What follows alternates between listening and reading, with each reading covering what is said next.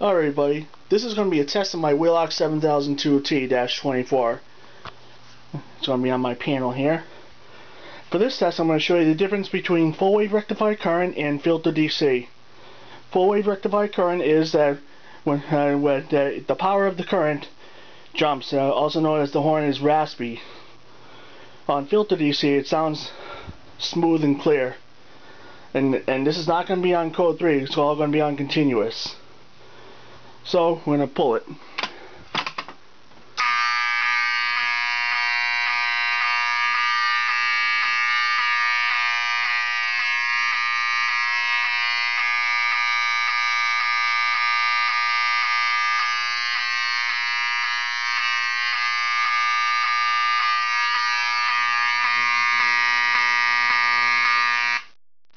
Okay, silence that reset the pull station. Now let's reset the panel.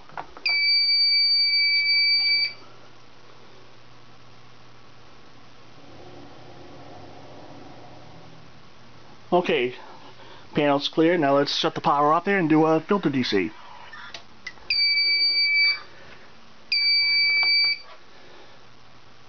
Now let's set it off again.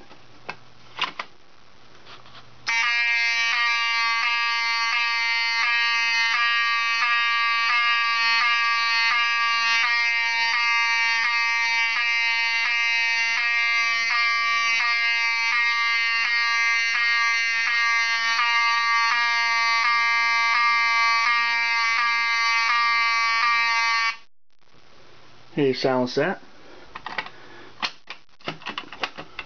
Reset the pull station. Pull station's reset. Now let's reset the panel.